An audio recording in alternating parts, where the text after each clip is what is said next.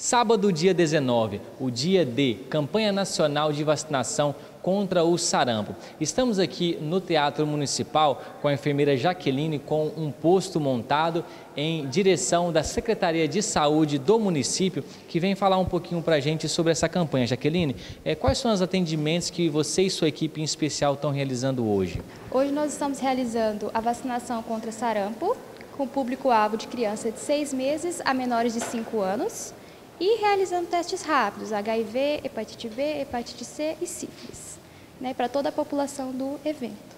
A vacinação né, ela é primordial, principalmente nessa faixa etária, uma vez que os casos de sarampo no país eles aumentaram muito, então o estado de Rondônia ainda não tem casos confirmados. Então nossa intenção é justamente fazer essa barreira, fazendo com que não haja casos, né? E a forma de prevenção é a imunização. Então é sumamente, sumamente importante e com relação aos testes rápidos, é, o número dessas doenças aumentaram muito no Brasil inteiro, no mundo inteiro. Então, a forma de diagnóstico e tratamento é a realização dos testes rápidos, né? Então, fazendo esses testes, a gente consegue fazer diagnósticos precoces e interromper essa cadeia de transmissão da doença. Então, ele também é muito importante. Além desse ponto aqui, ele é oferecido em todas as unidades básicas de saúde o ano inteiro ok?